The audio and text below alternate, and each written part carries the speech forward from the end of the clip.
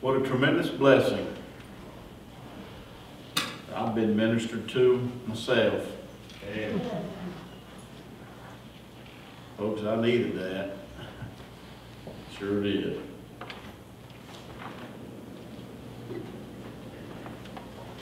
All of it. Better get, my- I need my glasses too.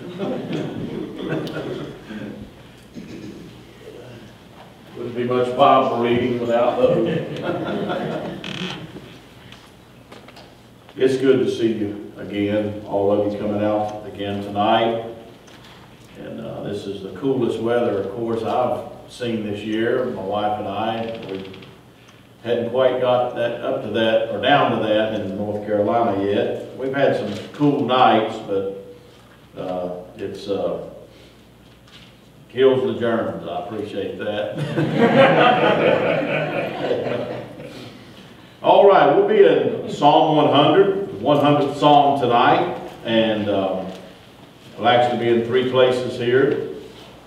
And uh, I know that Pastor Ireland did not know what I was going to be preaching tonight, but the Lord always does. And uh, so, Psalm 100. So I hope it'll be a blessing tried to be the last three nights, the last three messages we preached. And I hope it's give you something to encourage you.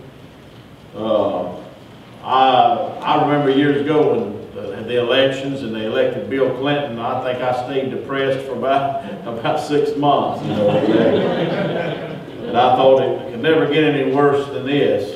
Well, guess what? Psalm 100, a psalm of praise Make a joyful noise unto the Lord, all ye lands. Serve the Lord with gladness. Come before his presence with singing. Know ye that the Lord, he is God. It is he that hath made us, and not we ourselves. We are his people, and the sheep of his pasture. Enter into his gates with thanksgiving, and into his courts with praise. Be thankful unto him and bless his name, for the Lord is good. His mercy is everlasting, and his truth endureth to all generations. Father, give us wisdom tonight as we look to your word. We pray, Lord, that you'll speak to me tonight, Lord, and give me strength, that I might be a blessing to these, my brothers and sisters in Christ. Thank you for this wonderful music tonight.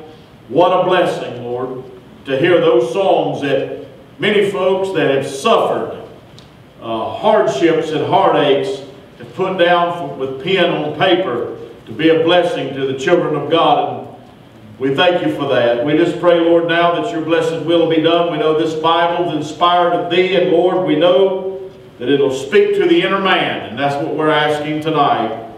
Give us strength, God, that we don't have physically, and we'll praise you and thank you for all that you do. In the name of Jesus Christ, our Lord and our Savior. Amen.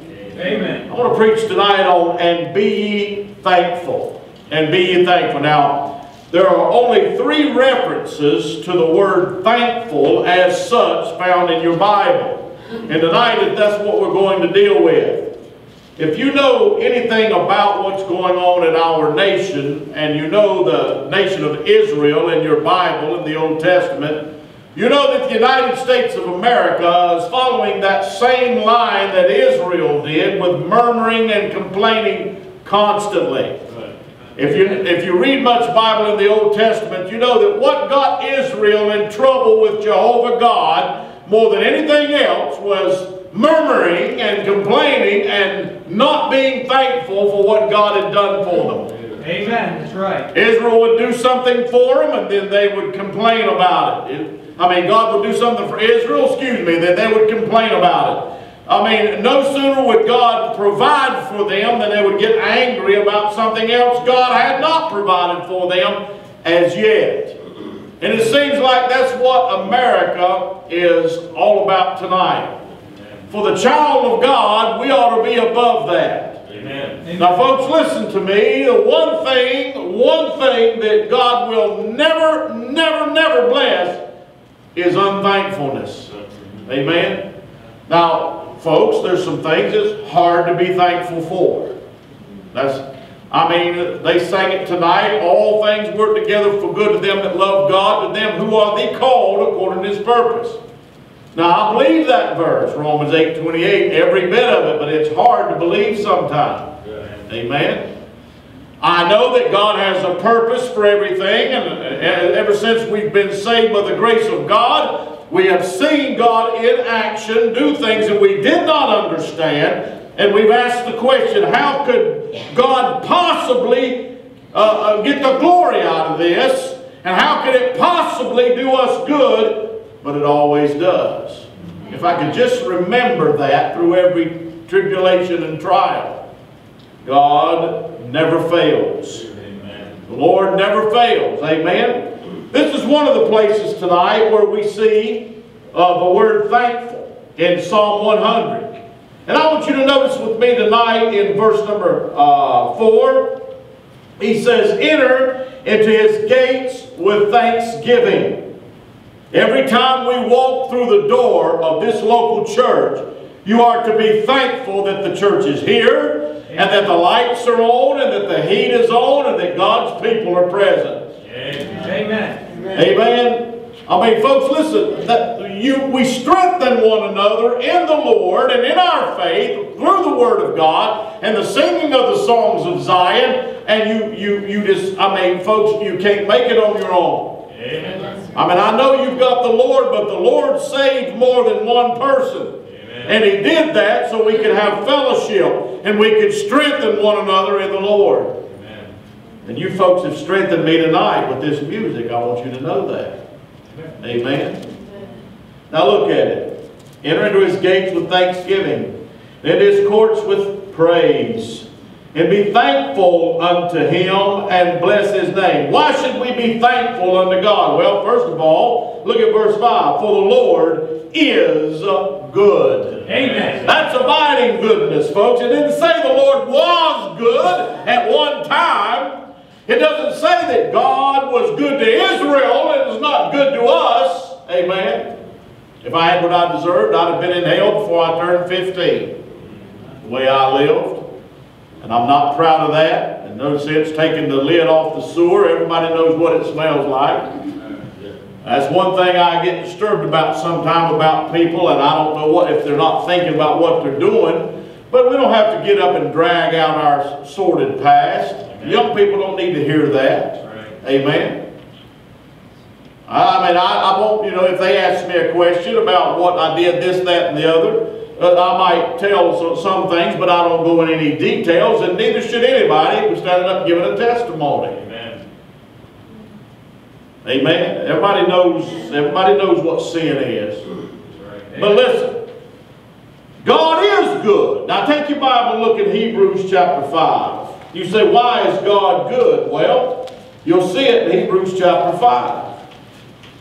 God is good and the devil is bad. Amen. God is good and the devil is evil. Amen. You say, prove it, okay? Notice in Hebrews chapter 5 chapter 5 and verse number 13. For everyone that useth milk is unskillful in the word of righteousness, for he is a babe.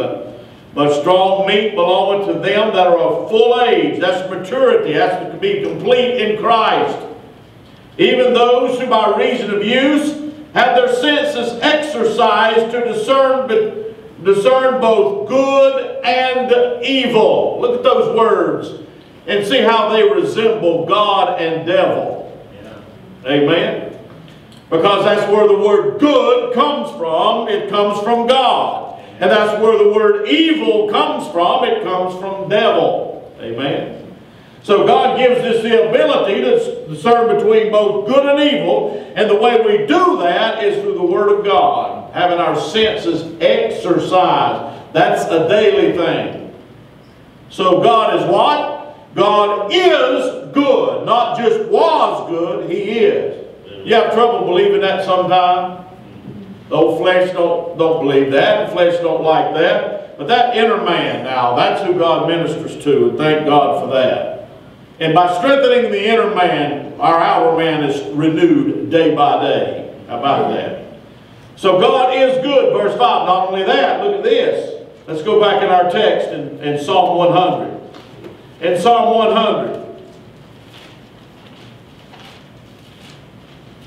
it says, For the Lord is good. His mercy is everlasting. So we have everlasting mercy. That means it's never ending. Amen? Now, folks, I, you say, well, God gets God, God is long suffering, but His His uh, long suffering runs out, but He's still merciful. Yes. He's merciful in that He gives a person an opportunity to repent and get right with God. Amen. God didn't have to do that. God could have wiped people out and not give them any opportunity to repent, but He did. Amen. And thank God, His mercy, His mercy is everlasting mercy, especially for the child of God. Amen. That's a fact. Everlasting mercy. Not only that, not only is it never ending, but look at this. And his truth endureth to all generations. Mm. That means it lasts forever. Yeah. You're never going to run out of truth with God. Now, folks, listen. You can't have truth in things that contradict the Word of God. Mm -hmm. That's error. But in this book you have truth. It's not part truth. It's not three quarters truth. It's all truth. Amen. In this Bible. And I submit to you this evening there's no contradictions in this Bible and those that appear to be contradiction, contradictions always have an explanation. And in the minds and hearts of men is where the contradiction is. But with God there is no contradiction.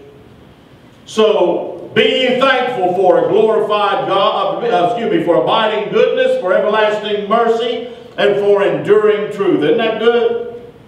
Yes, sir. I mean, folks, if this world stands a hundred more years, 200 more years, and of course it will in the millennial reign, but I'm talking about as it stands right now, and, I hope not. I hope the Lord gets us out of here soon, but if it does, truth will still endure. And the world doesn't like truth. Amen? Have you run into that yet? the world does not appreciate truth. They don't. Now look at this.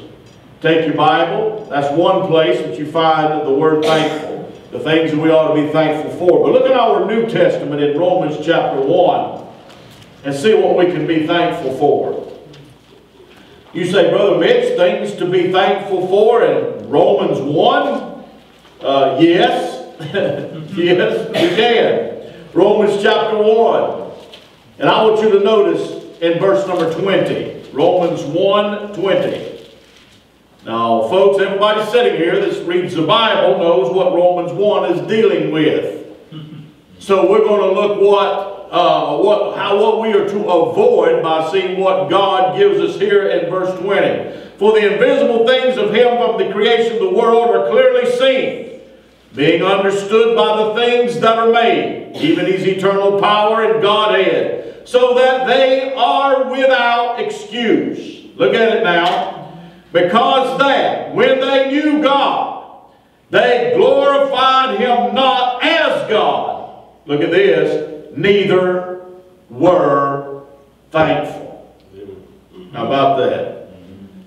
Neither were thankful. Now notice, but became vain in their imaginations, and their foolish heart was darkened.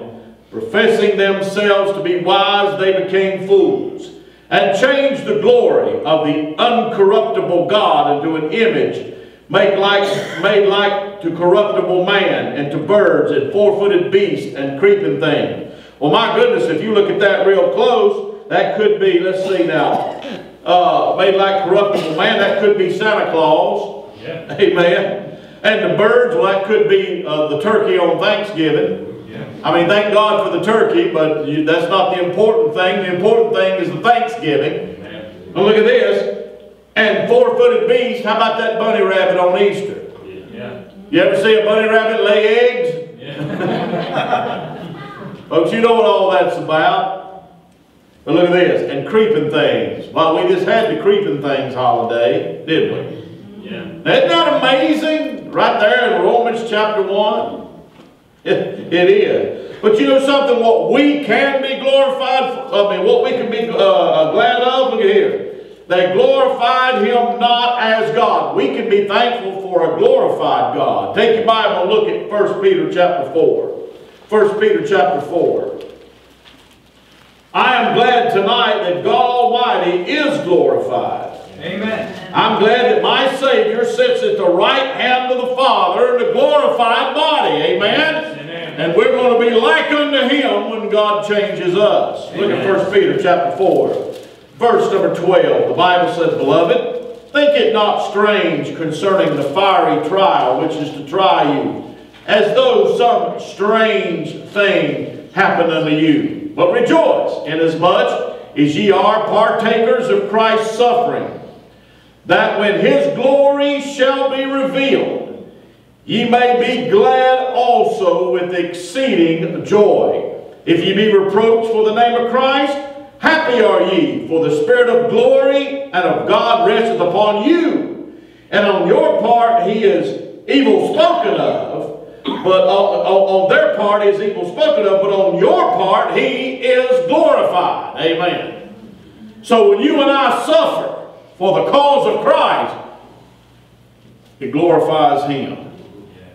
And you know something, folks? That's what life is all about. Amen. Now, thank God God gave us the things that He gave us to enjoy. Families, as I said the other night, and food and fellowship, and all these things.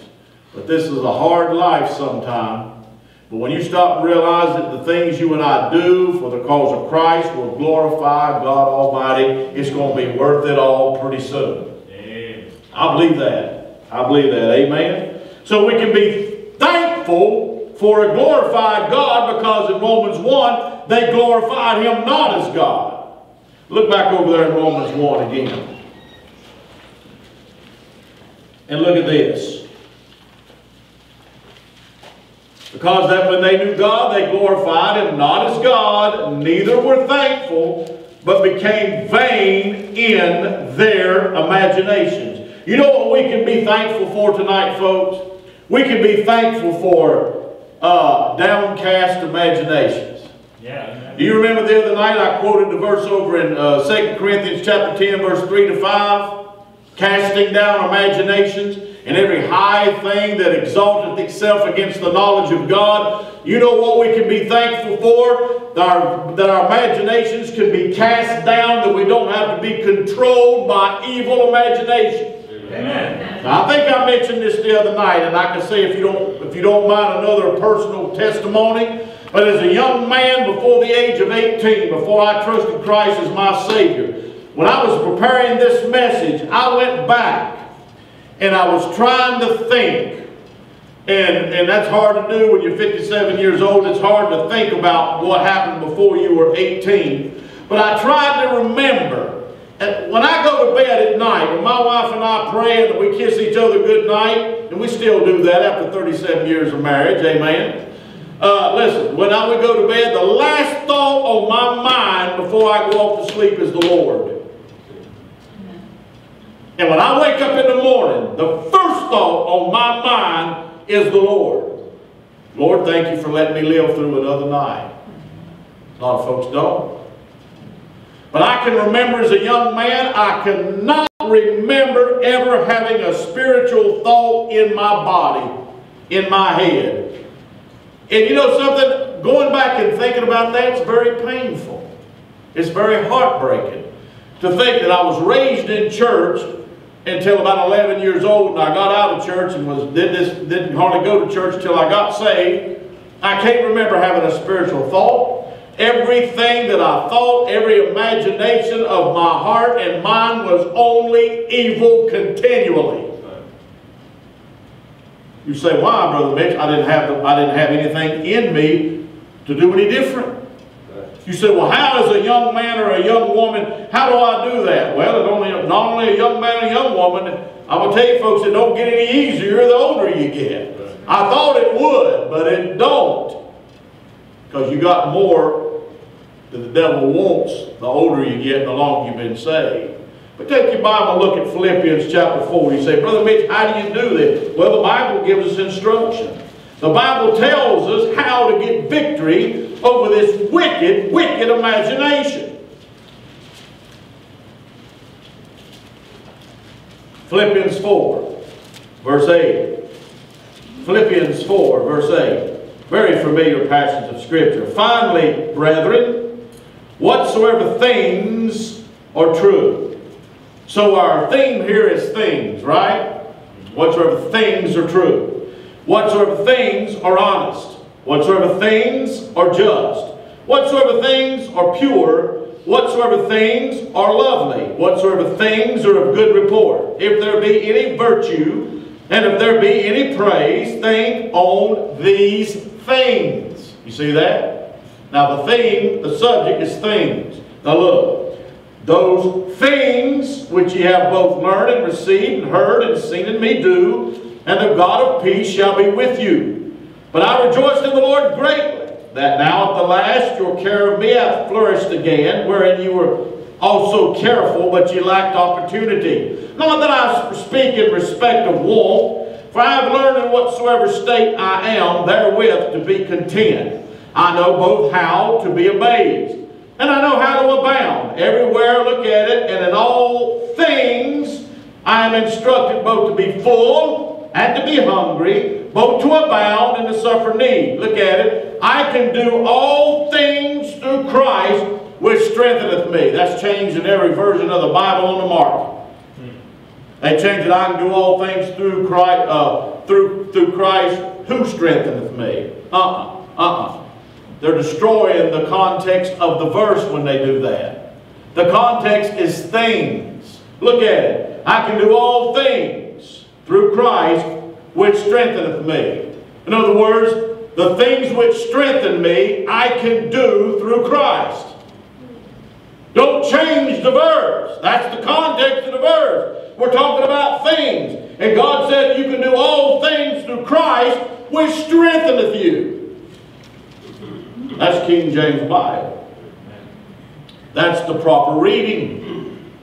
You change the reading, you destroy the context of the verse. Amen. Amen. Amen. So listen, we can by doing these things, think on things that are pure and lovely and of good report. That's the way you cast down your imaginations. Amen. Young person or old person.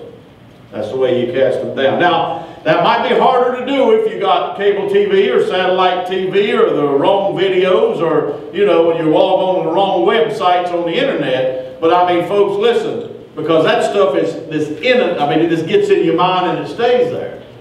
So you might want to, you know, monitor what you watch. Amen? Shake your head, folks. Amen. Folks, the commercials now are more filthy than the programs are. Amen.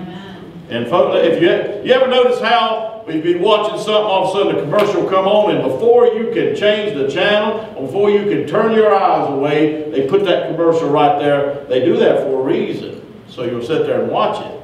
Amen. Amen. Amen, Brother Mitch. all right. Downcast imagination. I thank God that I don't have to be controlled by my imagination. Not only that, look back in our text. But I can thank God, I can thank God for something else. Look at Romans chapter 1. Again, a lot in that chapter. I got a message I preach out of Romans 1, how things continually get worse and worse, and I call it the point of no return. But anyway, look at this. They became vain in their imaginations, and their foolish heart was darkened. You know why it took 18 years for me to trust Christ? Because I had a dark heart. My heart was darkened by sin. You said, what can you do about that? Look at Psalm 18. Psalm 18. Psalm 18, verse number 28. I like this. Psalm 18, verse 28. The Bible says, For thou wilt light my candle, the Lord my God will enlighten my darkness. You know why these people in Romans chapter 1 became reprobates? You know why these people in Romans chapter 1 were led down that primrose path to destruction and where they ended up? To where they were given a reprobate mind? is because they had a dark heart. Yeah, amen. And the only way you can have an enlightened heart is through the Spirit of God, through salvation by the grace of God. Amen. That's why this world is as wicked as it is. People with reprobate minds running things. And folks, it's going to get worse and worse and worse. Evil men and seducers shall wax worse and worse, deceiving and being deceived. And you read 2 Timothy, the book of 2 Timothy, that's your last days scenario. You say, prove that. I'm going to very shortly. Number three, folks, and I'm done. Look over in Colossians chapter 3. So you got the word thankful is in Psalm 100. You got the word thankful in Romans chapter 1. And you got the last time the word thankful as such is found in your Bibles in Colossians chapter 3. Colossians chapter 3. In Colossians chapter 3, the Bible says in verse number 15, And let the peace of God rule in your hearts, to the which also ye are called in one body, and uh, be ye thankful. You reckon the Lord wants us to be thankful? Yes. Yes, He does. I'm thankful for the food that I ate today. It was so graciously provided for us. I'm thankful for the help that I do have. Amen. I'm thankful my wife didn't break her leg when she fell down through stairs. Amen. It could have been a lot worse. I'm thankful that, uh, that, that, that God let us be here tonight, that you've got this church. I'm thankful that you're here. I'm thankful that God saved me, and I'm not headed to a devil's hell, and I know that. Amen. Look at this. What can we be thankful for? Colossians 3, verse 15. First of all, let the peace of God rule in your hearts. We can be thankful for the ruling peace of God. We do not have to be ruled by turmoil all the time. We can be ruled by the peace of God. Amen. That's what God said. That's easier said than done sometimes. We have to submit under God. Like they sang in the song, you know, I mean, I mean, you, you submit unto God and those things that happen, they happen for a purpose. Amen. I'm glad one of these days, I mean, not now, the Lord said, but afterwards, we'll understand. We'll understand the, the ruling peace of God. Not only that, look at this. Let the peace of God rule in your hearts. Now, when you got, when, when you're a saved individual, you either got the Lord ruling in your heart or you're on the throne of your heart. Yes. Mm, that's right. You know something? I'm a terrible monarch. Amen. I, I listen, folks. I, I can't rule my spirit too well, but the Lord can. And the Lord does. And He has now for 38 years. And every time I've ever gotten in trouble is when I've took God off the throne of my heart and put Mitch on the throne of my heart. It don't matter what, what circumstance, I've always got in trouble. And every child of God will. Let the peace of God rule in your hearts. Now look at this in which ye are called in one body, in one body, be ye thankful, and be ye thankful. You know something? Tonight, you are a manifestation of the body of Christ into a local church assembly. Amen. Amen. Mm-hmm. I'm going to heaven with you folks, whether you like me or not. I hope you do, but that doesn't matter. Whether you like me or not, I'm going. I'm here. I'm in the body. Amen. You're in the body, we're going together. Amen. You say, well, I don't like you. Well, we'll have a glorified body then. Maybe you will. How, how about that? But listen, the calling in the one body, God put you here for a purpose. In this local assembly, because you are children of God, you're in Christ's body, and you're obeying God by being here in this local assembly. Christ died for the church. Amen. He sure did. Now, I know there's a difference between the local body and the local church. I know that. I know all, I mean, the, the, the body of Christ. I know that. But folks, listen.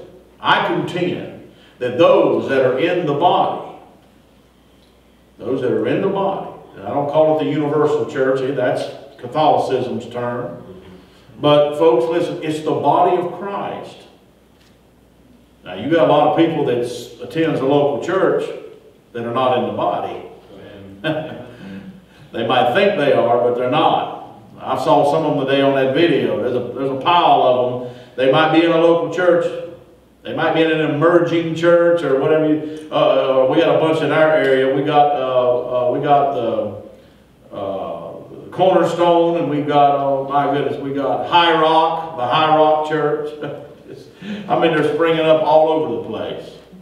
Yes, sir. And that's an offshoot of the Southern Baptist Convention, what that is. But listen, folks, Christ died for the church. Don't you think it's pretty important? Yes.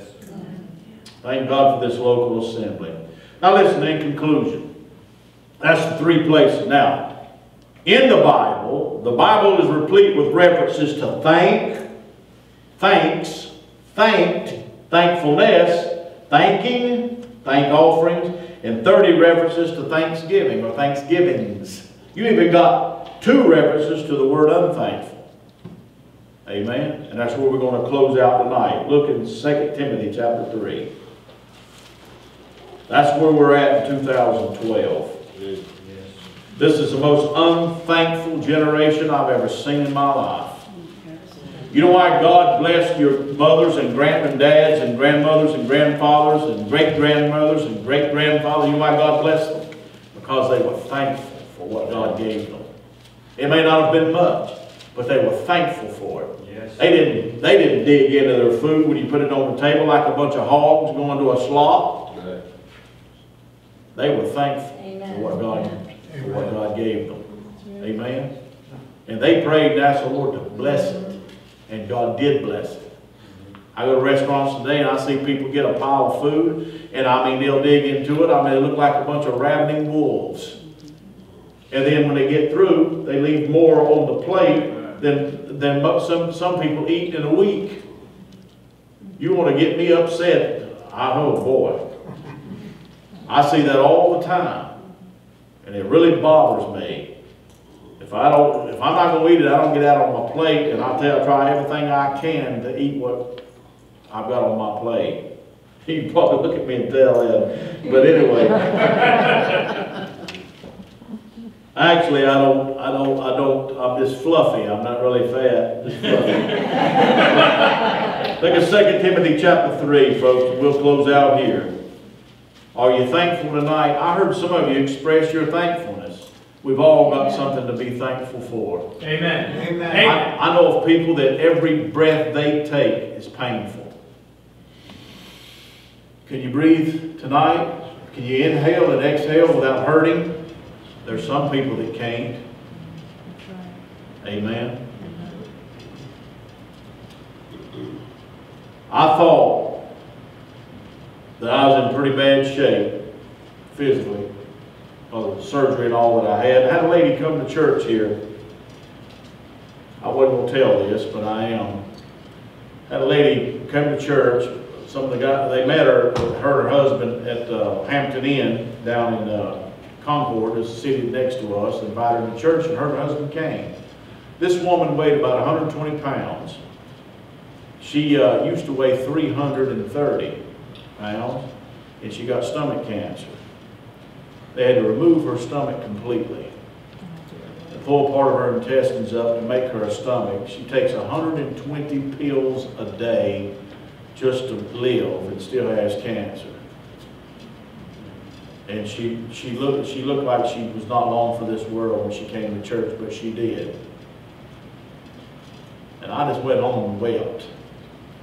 I said, God, I'm sorry. I'm sorry.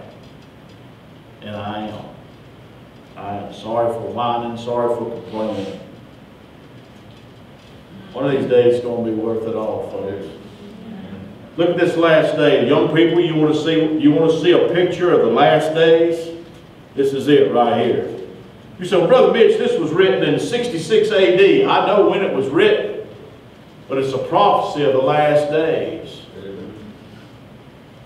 This know also that in the last days perilous times shall come.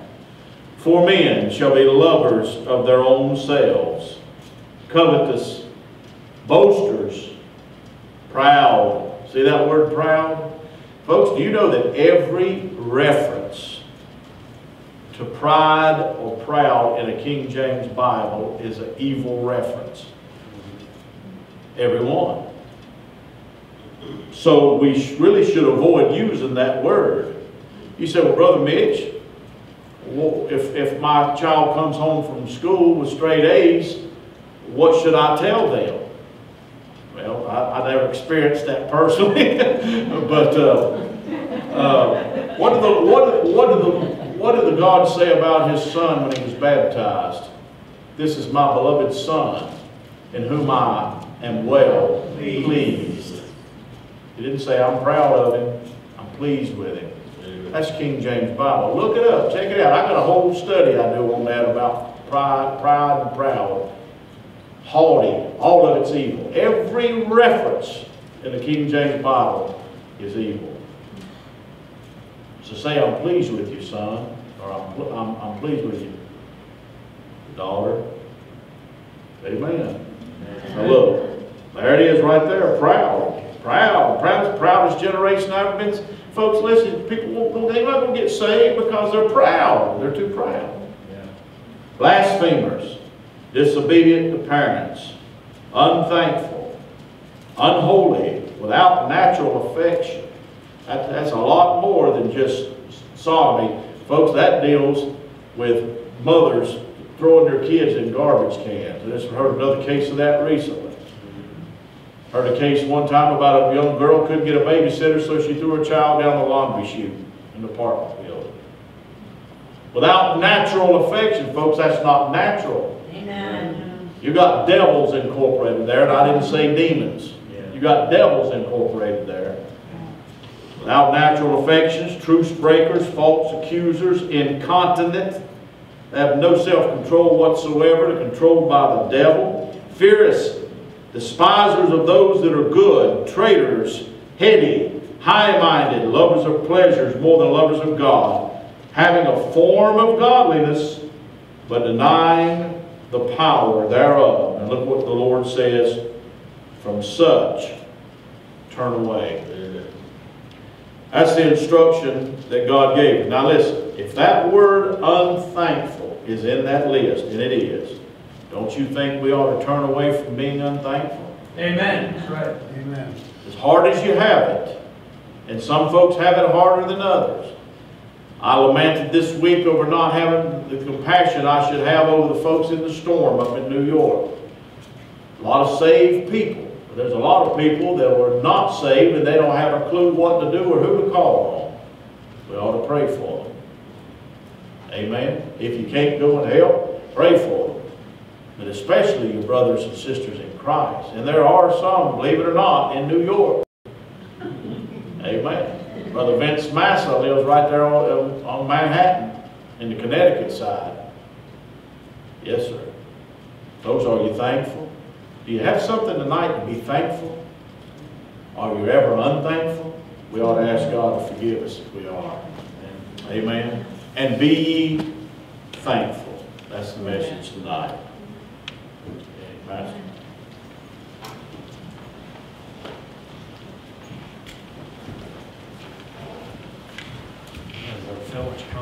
Let's stand. Pretty easy to slip into the unthankfulness, isn't it? God's been good to us. Amen. You're saved here tonight, God's been good to you. You live in this country, God's been good to you. He really has. We need to be thankful. There's nobody in the world that should be more thankful than a Christian. A Christian that lives in this country, the freedoms that we have, the wealth that we have. Amen? God's been good to us. You ever get unthankful? What you need to do, you need to repent of that. You need to repent of that. Brother, why don't you sing? If the Lord spoke to you tonight, why don't you come? The altar's open. Let's turn to hymn number